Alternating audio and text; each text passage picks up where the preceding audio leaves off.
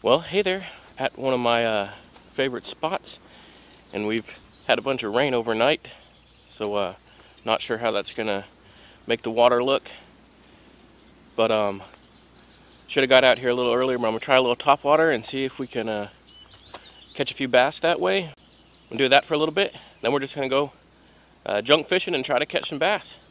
So let's get this uh, boat in the water and uh, see what happens.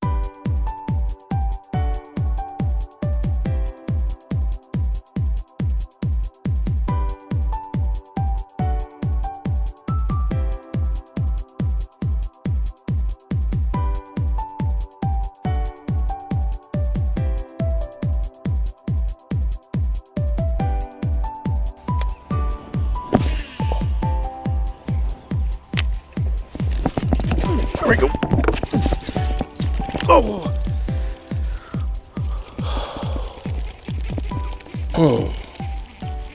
I don't know how that came off. There we go. There's a fish. Doesn't feel like a big one.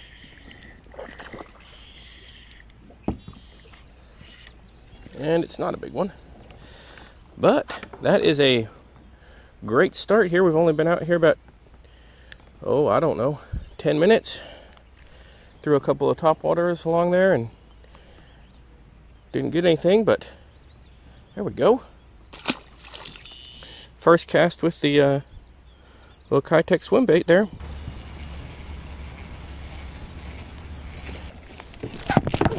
There we go.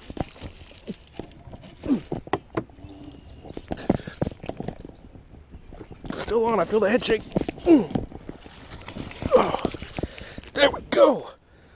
Oh, yeah. Frog basses are fun. Oh, yeah. A frog bass. Yes, that is fun.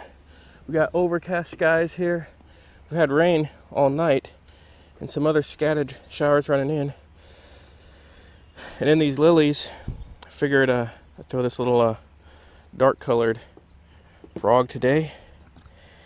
Oh, that's fun right there.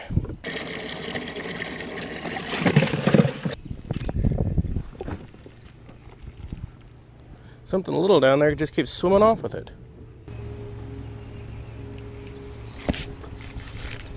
Here we go. That one's a bass though. That one's a bass. That wasn't the bite that the other one was, unless there's just a bunch of little ones down there. Where you at? Oh, there we go. That's a decent bass. Keeper number two. No big ones yet. Here's a fish. That's a little bass, I think.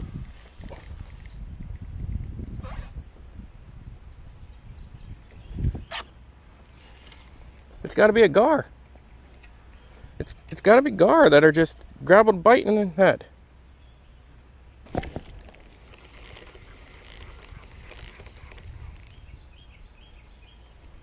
Must be gar down there. That's the second one that's bit off. It's got to be gar. That's the second shaky head I've lost down there. That was a gar there. Stole me again. The gar, that's the third shaky head now I've lost to a gar. They just snap it and cut cut them. Turned the camera off and then forgot to turn it back on. I switched up uh, plastics here. I put a little um, creature bait on there and caught this little two, two and a half pounder, probably two pounder there. So that's uh, keeper number three. Water with the other two.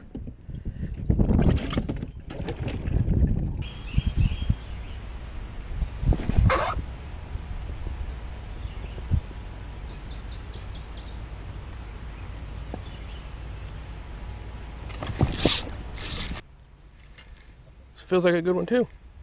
Maybe not as big as the other one. About the same size, maybe. There we go. oh, this is getting fun right here. I'll tell you what I'm doing here. Once I get this fish in the live well.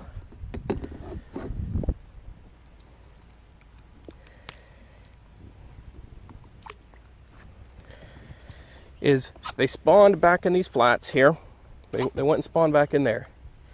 And this right here, we're in 11 to 13 feet of water. But there's an old road bed that kind of goes from over on this side and it runs across here. On the other side of that road bed, it's between six and eight feet of water. I'm throwing that shaky head up on that flat and I'm bringing it back through and letting it come over top, over top of that road bed and they're usually sitting on that road bed. Here we go.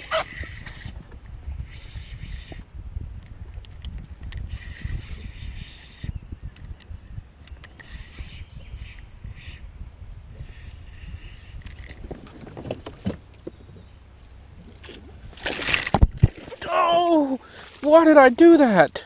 That was a good one. That was stupid. Oh well. That would have been keeper number five. I should have just let it tire itself out.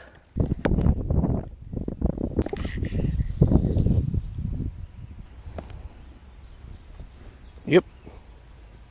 Got me.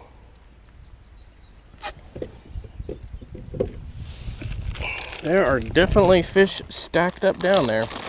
I'm trying to stay off the spot. There's none right here on the, well, there's a couple right here. Off to the side a little bit.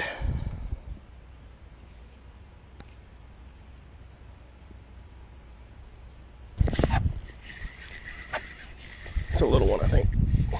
Well, maybe not. Maybe little head shakes. I feel head shakes. Where you at? Is it just way out there? Coming to me.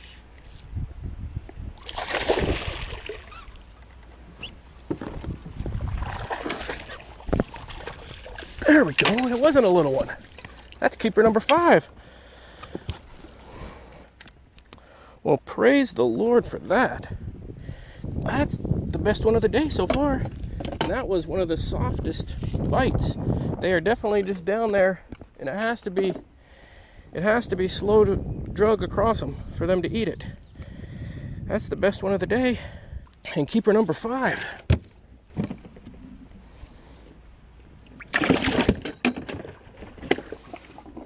I just put some fresh water in there for them, so I'll let them uh, talk to each other for a little while. Oh, that's fun. That is fun. Well, hey, we have five keepers in the well right now, and it is about 10 o'clock. So, uh, figure I'll leave that little school be. I caught one uh, on a frog earlier, and then I found some uh, those schooling staging bass. As I explained, there's this little road bed that runs right through here. It's about um, eight feet to six feet where I'm at, just about 20 yards over, 20 yards uh, back behind me just in the trolling motor there. It's uh, 13 feet deep. So I was dragging a jig uh, head. I got uh, stolen by several gar. They bit off the, the line I had. I lost three of those shaky heads. So I was using a swim jig on the last one, just dragging it across the bottom with a creature bait on it. I don't want I don't want to bother these fish anymore. My dad is coming up tonight, tomorrow, and I will hopefully that uh, that school will still be there, and hopefully we can get them fired up like I did today. And uh, Hopefully he can catch some bass too.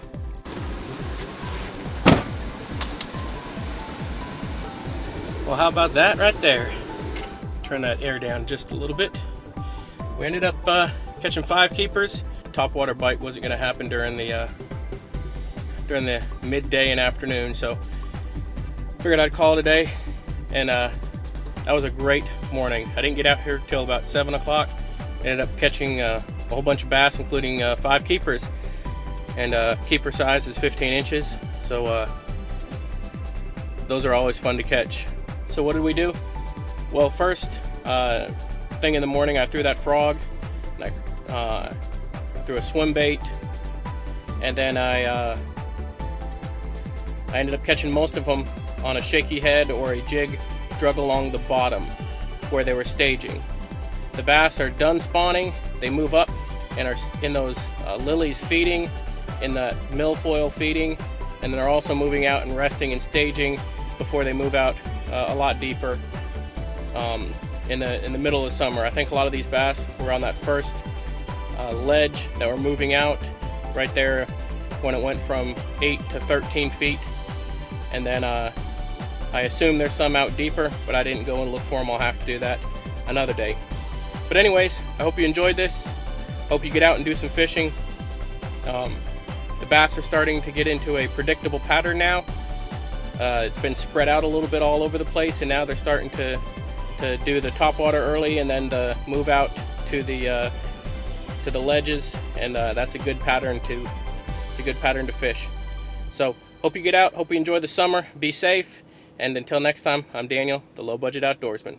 God bless